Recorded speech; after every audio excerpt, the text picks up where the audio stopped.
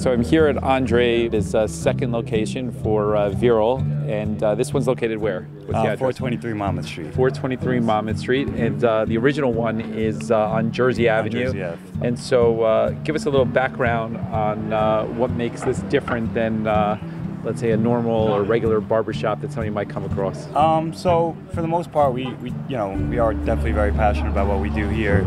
Uh, we try to make a nice, comfortable space for everyone involved. Uh, we serve a beverage for those who take us up on it.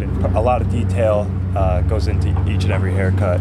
Comes with a shampoo, the haircut, a style, and uh, a hot towel shave on, on the back of the neck.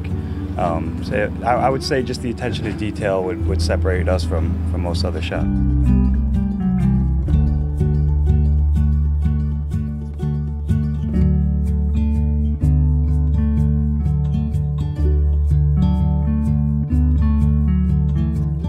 So we're excited. I'm, I'm a proud customer, and uh, since they opened up, uh, how many years ago did you guys open in Jersey? On Jersey Ave, uh, four and a half years now. Four and a half years, and it's uh, it, it fills up real fast now. It's hard to get uh, uh, a seat these days, right? Which is, Yeah. like, I guess, a good problem to have.